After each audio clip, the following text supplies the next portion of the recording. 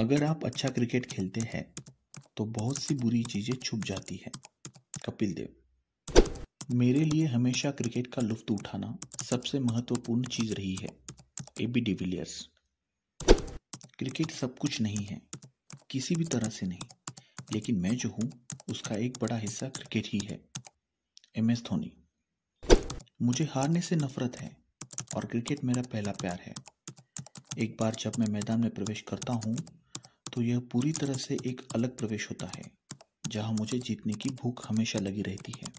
सचिन तेंदुलकर, ये उन दिग्गजों की निजी राय है जिन्होंने क्रिकेट को अपना सर्वस्व मान लिया है। उनके लिए क्रिकेट केवल एक खेल नहीं, बल्कि उनके जीवन का एक महत्वपूर्ण अंग है। आज हम इसी क्रिकेट के इतिहास के बारे में जानेंगे। कैसे इस खेल ने गली से निकलकर अंतर्राष्ट्रीय दर्जे को प्राप्त किया?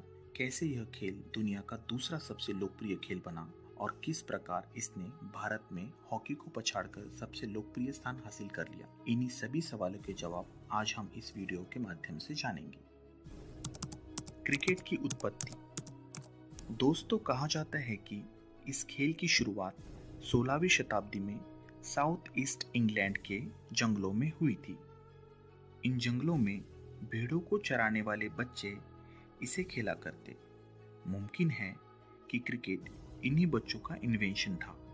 पहले इस खेल में लकड़ी का बल्ला और लकड़ी की ही गेंद हुआ करती थी, मगर आगे चलकर इन्हीं बच्चों ने लकड़ी की गेंद के बजाय ऊन के गोले से बने गेंद का इस्तेमाल करना शुरू कर दिया।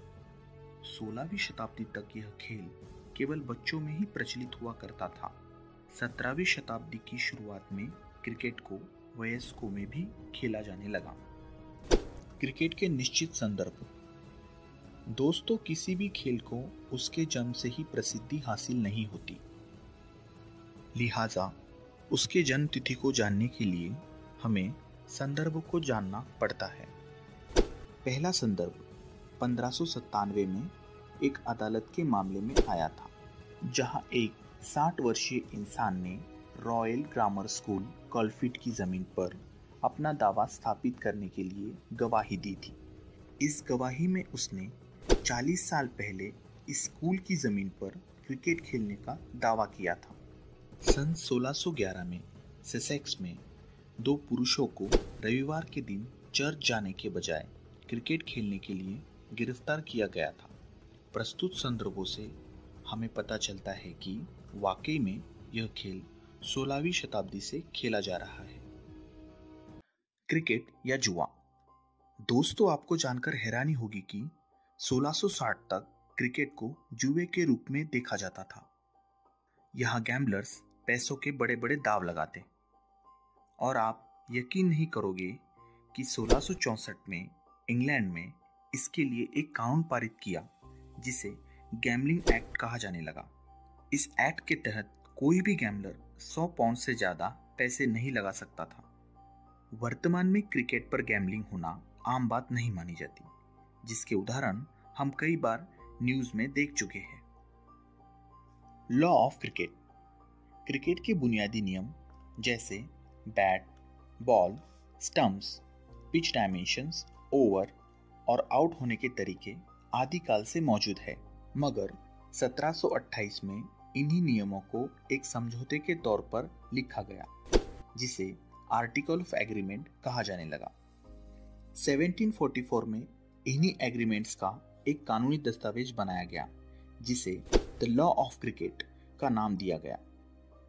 इस लॉ ऑफ़ क्रिकेट के तहत खेल में अंपायर्स का होना अनिवार्य हो गया, साथ ही साथ एलबीडब्ल्यू वाला नियम भी शामिल कर दिया गया। प्रस्तुत चित्र बैट के विविध स्वरूप को दर्शाता है। बात करें सबसे पहले बैट की तो ये बिल्कुल हॉकी स्टिक जैसा नज़र आता है। बैट का इस प्रकार होने का रीजन है, बॉल का अंडर आर्म फेंका जाना। पहले बॉल को अंडर आर्म किया जाता था, जो ज़मीन से घसीटते हुए बल्लेबाज की तरफ़ जाती थी और बल्लेबाज बैट के निचले मुड़े हुए हिस्से की मदद से बॉल को उठाकर दूर मारने की कोशिश करता। अंडर आर्म बॉलिंग होने की वजह से इस प्रकार की बैट होना लाजमी था। आगे चलकर बॉल को अंडर आर्म की जगह ओवर आर्म फेंका जाने लगा। लिहाजा बैट में भी रिवॉल्यूशन दिखने लगा। बॉल्स पर ओवर। दोस्तों, आपको यह जानकर हैरानी होगी कि सबसे पहले एक ओवर में केवल चार ही बॉल्स किए जाते थे, मगर 1900 में छह बॉल का एक ओवर होने लगा। 1922 में ऑस्ट्रेलिया में आठ बॉल का एक ओवर हुआ करता था। 1924 में न्यूजीलैंड और 1937 में साउथ अफ्रीका ने भी आठ बॉल्स यानी एक ओवर के नियम को लागू कर दिया। 1947 में क्रिकेट के कानूनों में एक और कानून शामिल हो गया, जहाँ कोई भी देश छह या आठ बॉल्स पर ओवर का खेल खेल सकता था। मगर यह कानून कुछ हद तक दोनों देशों में क्रिकेट को लेकर डिफरेंसेस पैदा करने वाला था। लिहाजा इसे स्टैंडर्ड रखना आईसीसी के लिए अनिवार्य हो गया और 2000 में आईसीसी ने छह बॉल्स वाला ओवर यही कानून बना दिया। टेस्ट क्रिकेट की शुरुआत। टेस्ट क्रिकेट इस खेल का सबसे पहला फॉर्मेट है।